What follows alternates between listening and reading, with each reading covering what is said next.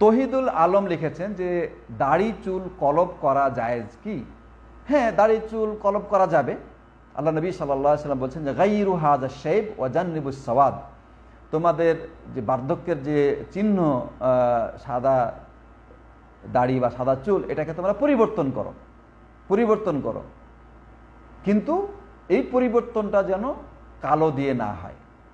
অর্থাৎ কালো রংটাকে বর্জন করো। তো জন্যে সম্পূর্ণ কালো যেটা, সেটাকে আপনি বর্জন করে যদি চলেন, তাহলে আপনার হাদিসের প্রতি আমল হবে। আবু বকর সিদ্দিক রাজিয়াল আনহু তার দাড়িকে খেজাব করতেন। তো সেটা হেন্না এবং কাতাম কাতাম বলা হয় এক প্রকার ঘাসের রস, আর হেন্না মানে মেহেদি, এটা তো আপনারা জানেন।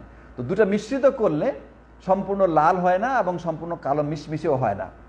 ঠিক আছে? তো কিছুটা কালোর দিকে ধাবিত হয়। এরকম কালার দিয়ে যদি আপনি আপনার দাড়ি বা চুলকে পরিবর্তন করেন, তাহলে এটা উত্তম, বরং এটা সুন্নত। অনেকে আছে, দাড়িকে সম্পূর্ণ সাদা রেখে দেয়, চুলকে সম্পূর্ণ সাদা রেখে দেয়, একদম পাটের পাটের মতো সাদা। এটা কিন্তু শূন্য নয়, এটা ঠিক নয়, বরং এটাকে চেঞ্জ করাটাই হচ্ছে শূন্য সাদা এবং সাদা দাড়ি এবং চুলকে চেঞ্জ করা বা কালার চেঞ্জ করাটাই হচ্ছে সুন্নত। আর এভাবে সাদা রেখে দেওয়াটা সুন্নতের খেলাফ। তো কীভাবে চেঞ্জ করব? যেটা বললাম যে সম্পূর্ণ কালো মিশমিশে কালো কুচকুচে রং পরিবর্তন করে এটা বাদ দিয়ে আপনি অন্য কোনো রং দিয়ে পরিবর্তন করেন। কিছু কালো, কিছু লাল হ্যাঁ মেহেদি এগুলো- দিয়ে আপনি পরিবর্তন করেন ইনশাল্লাহ কোনো অসুবিধা নেই। মনে করেন ফিফটি ফিফটি বা ফিফটি ফোরটি সিক্সটি এরকম যদি হয় ইনশাল্লাহ কোনো অসুবিধা নেই।